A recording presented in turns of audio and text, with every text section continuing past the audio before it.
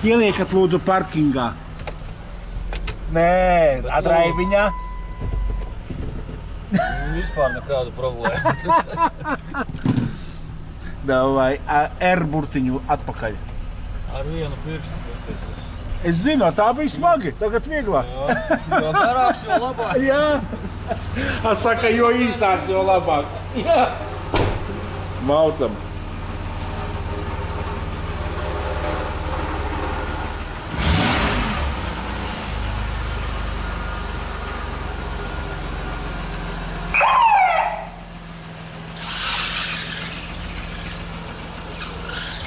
Oi, uguņi nav ieslēgti.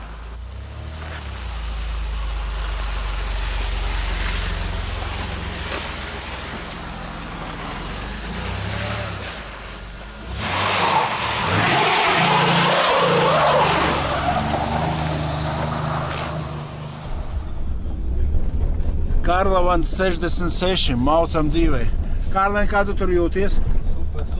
Super. Vainīgi tu tur dzīvs esi? Bet, protams, Kāpēc jūs sausā braucat nomīzāt no šitā, kad mašīnu atņems? Mēs tur pusotras nebraucam. Kārlavadus nedod. Kārlavadu, Kārlavadu vēl izraksta prēmiju, ja zem divām ir. Braucam mēs uz Ikšķeli pakaļ.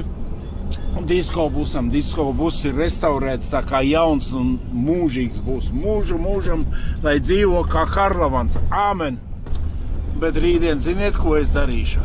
Rītdien es neskatīšos Karlavanu, ne disko busu, ne babušku, bet braukšu uz Madonu skatīties katafalku. Tas ir pavisam cits stāsts. Kā nekā mums ir lēdu garu jau jāgatavojas nākošajā gada Halloween ballītei. Katafalks būs, pārējo aprīkojumu mēs dabūsim. Es nesaprotu, kāpēc cilvēki ir 1500 skatījumi. Vot interese ir nenormāla. Bet visi atšķuīt pirkt katafalku. Bet es vismaz, ja nenopirkšu, parādīšu, kas tas pa katafalku. Nu, bet to jau pēc tam. Tas tagad ir mums jāatdzen diskobus un paliekam pie katafalka.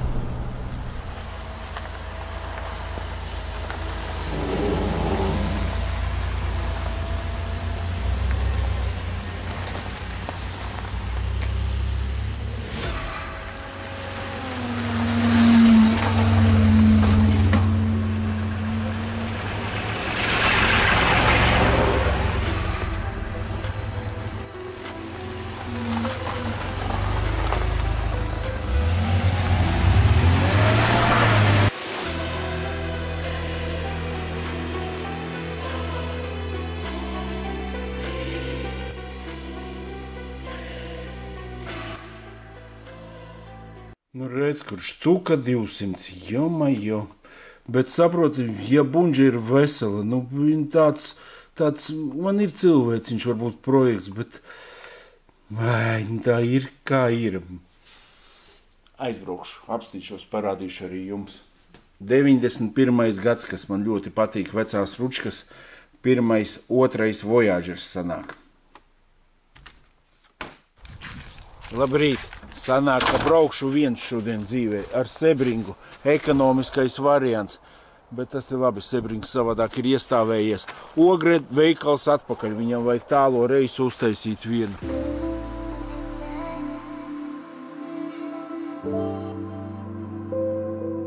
Astotais janvāris. Ārā mīnus 3 grādi.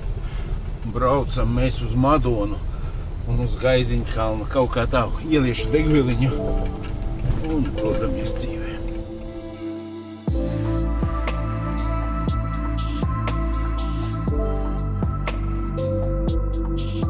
Vienkārši pats priekš sevīm, lai zinātu, cik es nobraukšu naudiņas. Tagad tās ielēju 3, 26 eiro, 32 litri var teikt.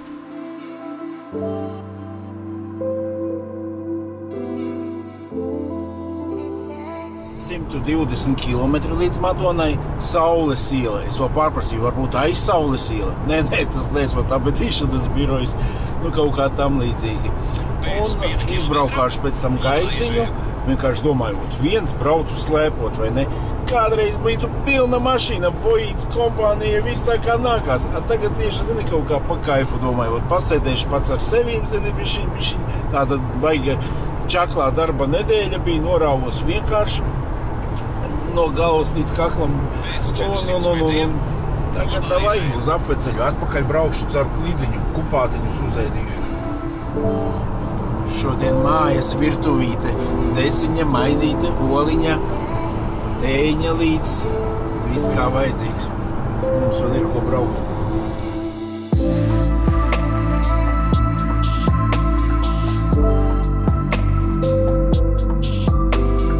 Esam veiksmīgi Madonā līdz Saules ielai 2,7 km.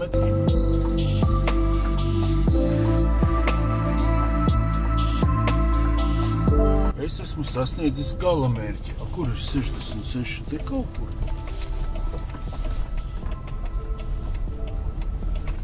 68 tas ir garām drusciņi atpakaļ. Vai?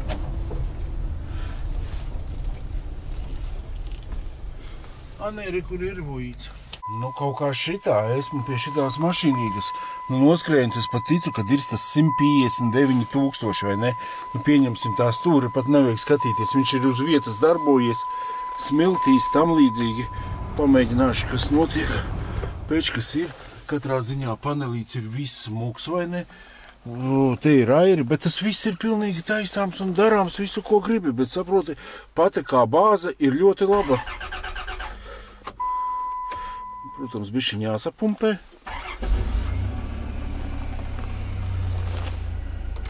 Aiziešu uzreiz bagāžnieku. Nu, motoriņš strādā vienkārši perfekti. ne, Tas ir nekādas durvis te nav izdevušas. Pieņemsim par rūsu eju apakšā. Te viss ir ļoti, ļoti skaisti. Visur ir tas viss smuki uz jumta tur ir kaut kas pabalējis drusciņi, bet ne kaut kāds, nekas tam līdzīgs. Nu, motors, viņš ir augsts, viņš nav darbināts sen, sen, es domāju. Un visi ģeneratori, viss tas ļoti smuki strādā. Šitās ir stulbās bremzes, bet es domāju, ka tur arī nekāda problēma, ja vajag, tad to var pārtaisīt. Ejam tālāk, mēs, nu, durvīs tas ir sūds, buktīti tur tāda, bet katrā ziņā pašas durvis. Redzi, kā tas izskatās. Te ir kaut kāda kakciņa maziņa, bet tas ir pilnīgi vienalga. Ejam pa sliekšņiem. Sliekšņi šitādi. Noteikti vajadzēs paremontēt, bet tas nekas krimināls galīgi nav, vai ne? Grīda nekas viņam nav pārtaisīta. Viss ir kā oriģināls. Attaisu bīdāmās durvis. Bīdāmās durvis. Lūdzu, te arī viss ir ļoti pat skaisti tā kā nāktos šitais viss izņemās ārā, tur vispār nekāda problēma nav. Griestus var šitos pašus pārlīmēt, darīt kaut ko savādāku. Ejam tālāk. Tā. Aizmuguri. Ārciņa, man liekas, te kaut kas ir taisīts, jo oriģināli tāda smalkā nenāk vai ne, bet nu, jebkurā gadījumā katrā ziņā pagaidām tur nav nekādas rūsas ārā, nekas tam līdzīgs pa bagāžnieku attaisam. Re, kur iet maza rūsiņa, bet tas jau tikai ir normāli. Vāks ir, var teikt, ideāļniks. Šito visu izņemt ārā, tur nav problēmas. Tā, nu, šos apstīsimies. Grīdu šeit atpakšā.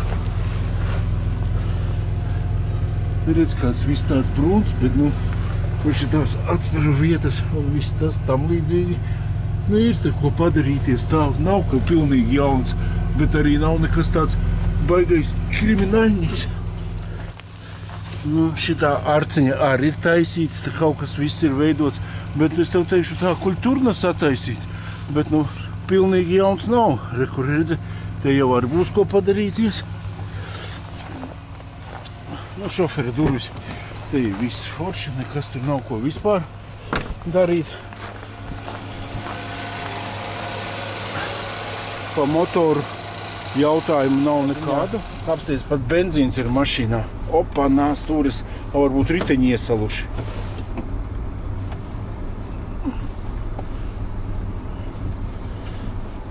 Stūrītis, čo tas smagi ir. Tur ir jāskatās kaut kas, varbūt tās ar stūris pastiprinātāju. Bet varbūt kaut kas ir sasalis, to es nezinu. Arī noteikti tik daudz, aiz kur arī bremzēm tie visi sūdi, ko es teicu, tas trumuls sūdi, tas arī noteikti nestrādā, tas būs jātaisa. Bet tur nav ko jāties, tur jāuztais uzreiz uz parastajām, uz parastajām bremzēm un, un, un, un tas arī viss, nu, tos trubuļus visus izmest augšā ārā. Tā es neredzu, cik es tālu braucu. Tā. Katrā ziņā kad ieliec iekšā ātrumkārpā, tad vajadzētu būt. Nu, sitiena nav, tur nedzird, varbūt solonīta bloks jau ir nomainīts vai ne. Kruīzīte, tas viss arī neko nevar zināt, kā tas ir vai ne. Nu, blin, nu, šitāds modelīts kaut kāds, nu, nu tāds, saproti, saproti, nu, nu, nu saprostat paši, nezinu, ko es vienkārši gribēju apskatīties trīs reizes esmu gribējis katafalku pirkt, nevienreiz neesmu nopircis. Kaut kāda tāda schēma ir.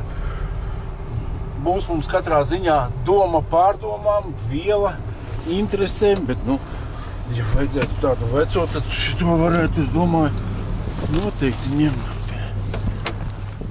Nu, Bačuks savu ceļas nav noteikti, ka tur kaut kas ir vai iztecējis, vai kāda truba, tāpat kā tam piektam gadam, bet tas, tas viss ir labojams un taisāms. Un šitās bremzītes arī uzreiz ir jāpārtaisa, lai ir miers mājās. Nu, ko tur pa kondicionieru, tas viss pēcāk. Bet, nu, katrā ziņā bunģa ir laba. Sties kaut vai uz spidometra, viss tāds košs balts, nav tāds dzeltenīgs, kā jau parasti izdēli, izd... atnāk dīzelīts, jauns ar mazu noskrējienu un jau tāds viss dzeltens, ar te vēl viss tāds balts patīkams. Nu, katrā ziņā, nu, tāds projektiņš, ej, tu nost. A, kas tā ir pa ekstru tur zemē mētājās? Openā, tas ir kaut kas skairuns, laikam, izvadīšanai. Einos, es kāpju ārā, man jau tā. Ā, bet, nu, bet, nu, katrā ziņā apskatījies esmu jums parādījis. Vēl pāriešu vēlreiz pa apakšiņu pāri. 159, ticu tam. Nē, nu, vat šitais te man šitā pusīte visvairāk tā nepatīk, bet nu nav tu nekas apsties, nu grīdiņi izskatās, te visi baigi, baigi smuki, tas viss ir oriģināli, apsties kāda bāka vispār kā jauna izskatās. Tas viss ir forši. To zapasku tur uz to vispār nepievēršat uzmanību, viņas visas sapūšas ir jau, ka tagad atnāk. Nu, tāda ir grīda, palīdīšu vēl tur drusciņ apakšā, varbūt kaut ko stūris pastāvēt. Tā, re, kur ir stūris reika. Redziet, te kaut kāds mitrumiņš pie trūbas ir pie pašas reikas, bet gali katrā ziņā ir sausi. Un rekur par pat tālumā redzēt stūres pastiprinātāja bačuks, tas arī skatās vesels, viss ir labi. Tā kā es baidos, ka šitā pati trūbiņa vien būs pie vainas vai ne. Nu, tāds izskatās šeit viņš vai ne. Nu, nekas te nav pilnīgi krimināls. Bet es neguļu katafalkā, es guļu zem katafalka. Ai, nu, ot, katrā ziņā balka nav sarūsējusi, pa cik tur eļļi ir tecējusi. Tā kā viss ir kārtībā. Ai. Orģinālie lukturīši arī vēl kaut cik dzīvi. Nekāda vaina nav. Katrā ziņā tos var mainīt un darīt. Bet tas viss arī forši. No tā, katafalka ar dieva palīgu, bet Bet nu, schēma ir interesanta. Katrā ziņā tādu atkal tu veselu pie mums nedabūsi ar 145 dosmēm, vai cik tur bija 156. Nu, ir tēma domai, komentāriem un visam pārējiem. Braucam mēs slēpot.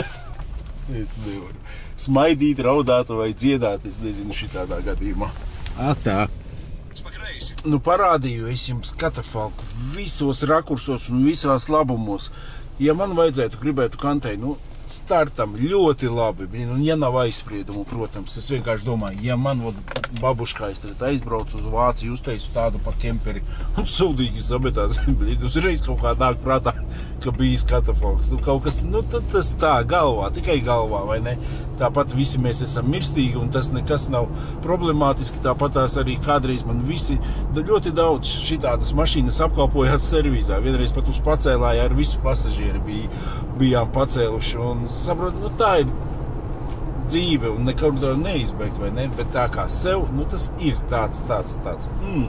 Bet, labi, tagad braucam slēpot. Viņš teica, uz meža zaru es tavā vietā brauktu labāka trasa, bet es neesmu gaiziņā bijis vispār, neatceros, kad ļoti, ļoti sen, tad, kad braucām kalnā augšā ar Voyageri, tas varētu būt gadi desmit atpakaļ. Tā kā aizbraukšu uz gaiziņu, ja nepatiks tur, tad ar, ar uz meža zaru. Bet pagaidām pa Madonu. ceļš uz gaiziņu tāds labais. Ne? Bet ko te izdarīsi? Braucam vien. 17 km nav jau tālu. Bedri uz bedri, piedodiet, es esmu stabils cilvēks. Braucu es uz Bežezeru un nahar man to gaiziņu. Neredzēju desmit gadi un vēl neredzēšu. Nu šī tāds izskatās Mežezers, bet kur te tauta slēpo? Varbūt es esmu kaut ko sajaucis. Nu, noteikti, ka sajaucis. Nevar jau būt tā, ka es esmu atbraucis normāli vietā. Izskatās, ka tur vairāk makšķerē nekā slēpo. A, nē, viss ir pareizi. O, kāds smuks komplekss. Ej, tu nos, nu kāpēc šitā viss ir pamests? Kaut kas bišķiņ, bišķiņ saistīts ar šodienas tēmu. Pamestā zeme atkal kārtējā. Baļiņ tāds drausminieks, bet cik te smuka vieta, bet gan jau kādreiz kaut ko te uzbūvēs. Un te ir arī bijis noteikti, ka baigi afigena, afigena skaisti, bet nu pagaidām izskatās šausmas. Noma ir pacēlēju biļešu, kas te atrodas. No tāda nomiņa izskatās. Šī tādas cenas īrēja. Un tāda laba kafejnīca, ja forši tāds ceļš blakām.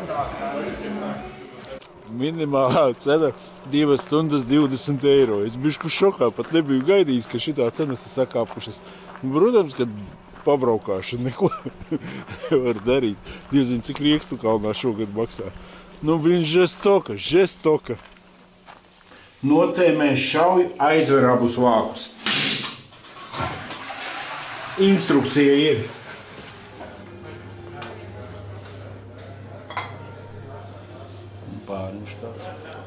Kaut kur pakāsas esmu savus slēpošanas bikses. Atzīstaties pie kā. Nē, esmu dzēris kaut kam iedevu. Bet šodienas tēmai šitādas uzvilku neko darīs. Šodien pieskaņotas.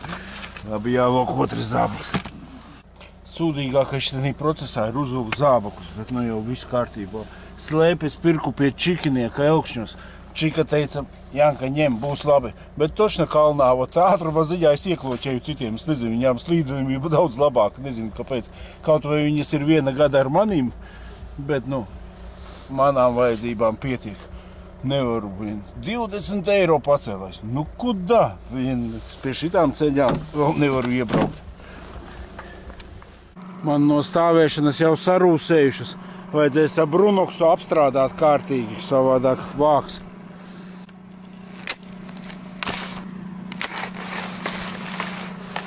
Maucam. Ne, pirmie iespaidi forši jau viss patīk. Jau pirmā slēpošana. Ah, redz, kā notiek, ka vecumdienās gribi, gribi pendrivāts.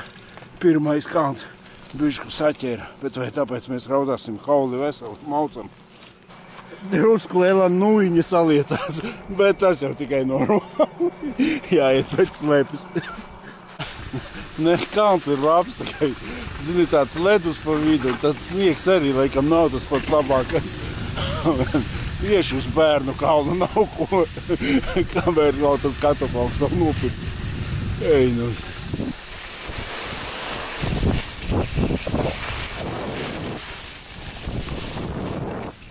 Nē, nu šitais atkal tāds lā, lā, kalns. Iebraukšu tomēr atpakaļ. Pietiek, pusotru stundu nomaucu. Zini, kas trūkst? Muzons varēja būt. Kaut kā, zini, tā liekas, baigi skučnovāta. Vot, kaut kas varēja apakšā vismaz spēlēt. Nu, nekas tagad jāiedžumī un maucam uz klīdziņu, uz dejām. No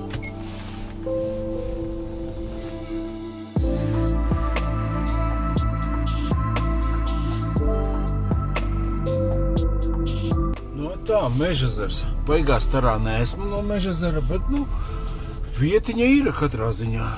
Teiņu ielēju. Atceries, jau var, laikam, tagad ir normāli, tā strāva arī, viss ir dārgi, protams, ko te var Gan jau tāpat napi galus savok. O, kāds foršs kalniņš augšā.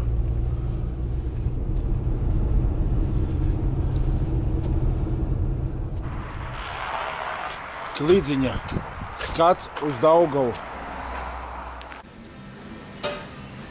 Klidziņā jāiet kupāt parasti.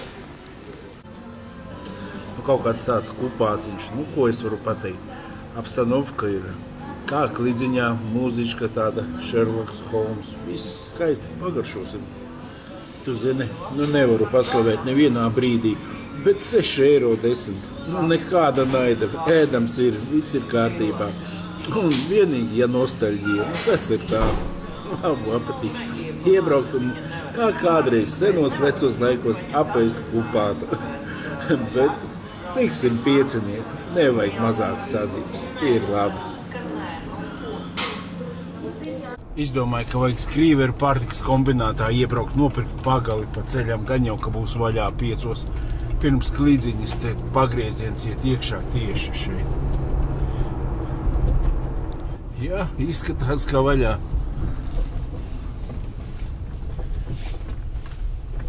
Nu, paskaties, cik skaisti.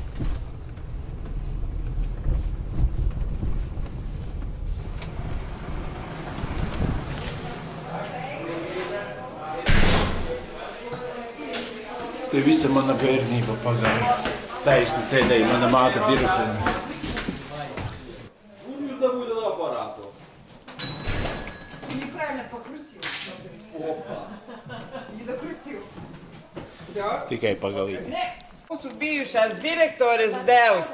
Ļoti patīkami bijušās Jā. direktoras dēls. Jā, Выдавай viņa ar ski, bez skipta. Zini, kas vislabākais ir šitā veikalā? Kamēr tu pēc, tu vari ēst konfektus. jā. Nogaršo. Nepofīgi. Vienalga galvenais nospēlē, jā. Abā aiziet. Ir. Opa! Oi, sorry. Šķirka ir, viss kārtībā. Labu apetīti. Paldies. Skrīveru kombināts, labākais kombināts pasaulē. Kargo maks tos jā, jā. Apskaties, man vēl bonusā končas iedeva. Nu, vienkārši. Kad es te ieskrienu skrīveru pārtikas kombinātā, nu tas ir super. Tas nav skrīveru saldums. Šitais ir tieši skrīveru pārtikas kombināts, kur visas gotiņas ražo no dabīgām izēvielām. Maucam tālāk. 291 km, var teikt 300 un piebraukšu tieši pie tā paša benzīna tanka, lai saprastu, cik man tas ceļojums izmaksāja degvielā. Nu, viss vairāk jau neiet. 25 eiro. Nu, vēl sestdienas atlaidīte, tā kā būsim precīzi 23 eiro. 22,99. Nu, kaut kā tā. Man...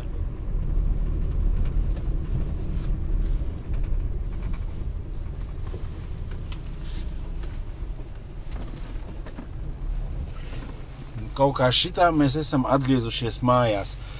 Pie paša minimuma rēķinot 23 degviela, 6 paēst, eh, 20 pacēlājs 50 eiras.